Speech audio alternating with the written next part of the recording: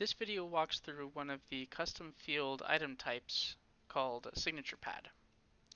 Now I've enabled this custom field to be on the task level so that when I edit the task, the signature field is actually allows me to put in an initial or a signature into the task itself just by clicking. I can also clear it, but when I do so, when I go ahead and save it now, that will be the value of the field there as a signature. This is helpful for tasks that need specific approval from people.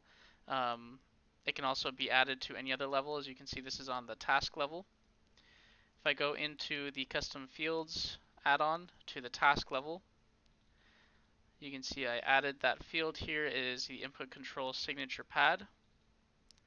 Put a name into it and include where on the form you want it to be, whether the top or bottom or on a separate tab. See the custom field add-on configurations video for more information about that. But you can see that as I've done this change, now that the custom field for signature pad is enabled, I can also turn this on on the mobile app display as well.